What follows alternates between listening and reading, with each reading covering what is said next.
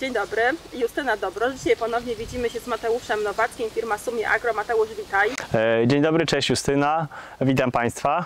E, Jesteśmy w okolicach Góry Kalwarii, około 14, 34 stopnie Celsjusza, ale te upały e, trwają już od kilkunastu dni, a w prognozie pogody nie widać znaczących zmian, cały czas około 30 stopni. Mateusz, obserwowałeś już jakieś pierwsze oparzenia na jabłkach? Jest taka możliwość? Czym zabezpieczałeś swój sad? E, tak, jeśli o to, tu jesteśmy akurat w kwaterze Retiona Prince'a, e, no już od e, jakiegoś czasu praktykujemy, zwłaszcza przy tych wysokich temperaturach, e, próbowaliśmy różnych rzeczy, na przykład uruchamiania zraszaczy nadkoronowych. Jest to bardzo fajne rozwiązanie, jednak trzeba wziąć pod uwagę ilość żelaza, którą mamy w wodzie. My tutaj mamy akurat bardzo dużo żelaza w wodzie i efekt schłodzenia i braku oparzeń, owszem, ale pojawiały się jakieś często gęsto niewielkie rdzawienia, e, bardzo mocno wpływało to na, na jakość liści, więc musieliśmy z tego nawodnienia nadkoronowego zrezygnować. W tym roku zastosowaliśmy glinkę w dawce około tam powiedzmy do 25 kg, troszeczkę mniejsza ta dawka e, wyszła, e, żeby zabezpieczyć, no bo w, akurat w tej kwaterze Retiona Prince'a zawsze mieliśmy problemy, może nie tyle z oparzeniami i utratą jakiejś tam jakości, jędrności tych owoców, ale później problem z wybarwieniem tego e, jabłka, bo wiemy, Retiona Prince, on się dosyć wcześnie e, robi się czerwony później te wysokie temperatury, nasłonecznienie powoduje, że on się robi pomarańczowy i ta pomarańczowa barwa już się nie chce później nam w tym okresie wrześniowym e, wybarwiać, więc stąd się zdecydowaliśmy na zabieg tą glinką. E, Prawdopodobnie go jeszcze raz powtórzymy, ponieważ e, jak wykonywaliśmy zabieg, było troszeczkę rosy, jednak tej wody, uwilgotnienie było zbyt duże i, i ten efekt może nie jest po, po tygodniu, jeszcze jakieś tam opady deszczu się pojawiły, tak wizualny jak powinien być, ale na pewno widać na, na tych skrajnych e, owocach, które nie są jeszcze gdzieś tam w koronie liści schowane, e, ten biały nalot, e, więc chyba to jedno z takich najskuteczniejszych metod zabezpieczenia przed wysokimi temperaturami. Jeśli ktoś ma oczywiście systemy nawodnienia typu podkoronowego, gdzie możemy też sporą ilość wody podać i na szerszym obszarze niż ty- typowo kropelkowo, je, też jak najbardziej, no bo ten efekt parowania, e, zwiększenie, zwiększonej wilgotności e, będzie pozytywnie wpływał na rośliny. Tak? Upały, dokarmiania? To jest chyba taki odwieczny nasz dylemat e, sadowników i patrząc, i ja często mam, mam wiele pytań teraz, czy, czy dokarmiać dolistnie, tak?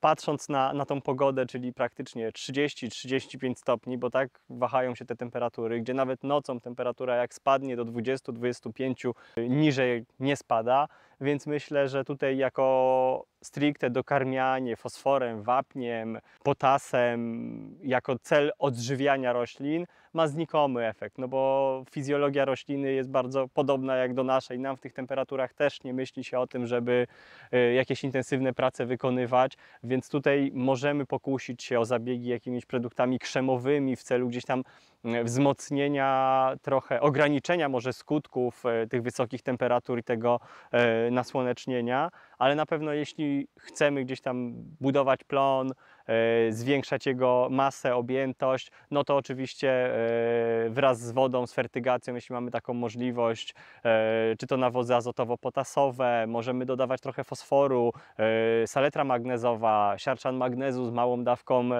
salety ramonowej nawet, więc tu tych rozwiązań jest dużo, żeby podawać jakieś tam małe dawki azotu plus e, te składniki, które będą wpływały na, na jakość liści, odżywienie tych liści e, jak najbardziej, ale przy tych wysokich temperaturach lepiej radzę poczekać na chłodniejszy, nawet nie wiem, często mm, spodziewamy się jakichś tam burz, więc często gęsto na drugi dzień ta temperatura jest już niższa, wtedy ten zabieg gdzieś tam wcześniej rano bądź późnym wieczorem możemy e, wykonać i rośliny po prostu z tego skorzystają. Mateusz, a zgodzisz się z taką opinią, że skoro mamy znacznie wcześniejszy sezon, te zbiory też być może będą wcześniejsze, może być problemy z wybarwieniem owoców? Myślę, że zbiory prawdopodobnie będą troszeczkę wcześniej, patrząc na, na wszystkie, wszystkie uprawy, które wchodziły w okres owocowania, czy będzie truskawka, malina, borówka, która e, tak naprawdę w zależności nie ma wielkiej ró- różnicy w czasie owocowania na poszczególnych e, odmianach, może stricte poza tymi póź- późnymi borówkami, e, a, a całą resztą. I myślę, że w jabłoniach też ta wegetacja, jednak te zbiory będą troszeczkę szybsze. jednakże przez długość tej wegetacji, jaką, o jakiej mówimy w przypadku jabłoni, gdzie ona jest bardzo długa, e, to nie będzie tak, że trzy tygodnie wcześniej zaczniemy zbierać pierwsze odmiany jesienne.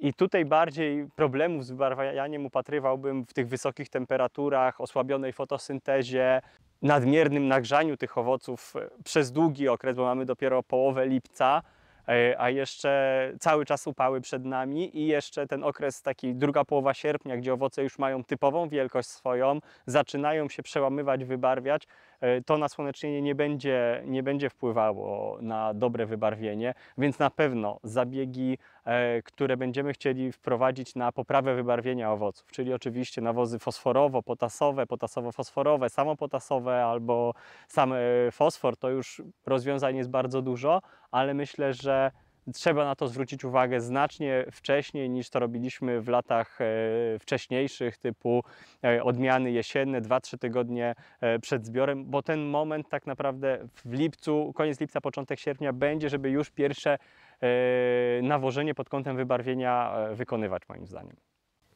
Y, zwalczania drugiego pokolenia owocówki jabłkóweczki. Ty coś robiłeś? patrząc trochę na prognozy pogody, czyli liczymy na to, że jednak pod koniec tego tygodnia e, ta temperatura troszeczkę nam się ochłodzi i wykonamy ta, taki zabieg. A dlaczego? E, Gdzieś tam po wymianie e, podłogi w e, pułapkach feromonowych dwa tygodnie temu e, i w tym pierwszym tygodniu po wymianie tak naprawdę dosłownie pojedyncze sztuki owocówki nam się złapały, typu 3-4 e, w ciągu tygodnia praktycznie. O tyle e, obserwujemy, zaobserwowaliśmy, że ten e, może pik jeszcze, może nie, ale na pewno wzmożony e, lot motyli nastąpił w zeszłym tygodniu. I jak w weekend sprawdzałem pułapki, to tych sztuk jest w granicach 20 paru do 30 nawet, więc planujemy gdzieś tam w ciągu tych 7, 7 dni z racji wysokiej temperatury i spodziewanej, spodziewanych opadów deszczu, czyli znowu wzrośnie nam wilgotność przy wysokiej temperaturze, e, rozwój e, tego szkodnika będzie szybszy, więc w ciągu tych 7 dni planujemy wykonać właśnie zabieg na tak zwaną tą czarną główkę na kolejne pokolenie e, owocówki. Jakieś inne plany?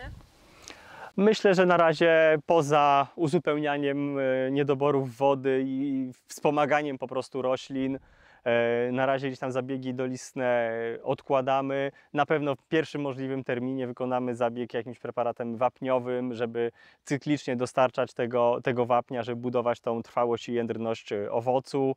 E, No co, plus oczywiście w gali, goldenie, tych odmian, odmianach, które są potasolubne i chcemy, żeby jak najwięcej rosły, e, fertygacja, e, zobaczymy. Albo będzie to saletra potasowa, albo e, siarczan potasu właśnie z jakąś tam małą domieszką e, azotu. A propos deficytów opadów, przed chwilą powiedziałeś też, że czekasz dzisiaj na opady, bo Twoją okolicę omijają. No tak, no tak jak e, wszystkie, we wszystkich komunikatach rozmawialiśmy, tutaj e, tym roku faktycznie te opady nas, nas mocno omijają i wieś obok potrafi spaść, tak jak właśnie w piątek 20 parę litrów na metr kwadratowy, u nas spadło niespełna 5, tak? I ten, tak to wygląda. No, nic na to nie, nie poradzimy, na, na pogodę tak nie mamy wpływu, więc no jak możemy, tak uzupełniamy tą wodę podlewając, tak? Już raz y, żegnałam się z Tobą w ten sposób, ale powiem jeszcze raz, mam nadzieję, że bez gradu. Miejmy taką nadzieję, tak. Do zobaczenia. Do zobaczenia, dzięki.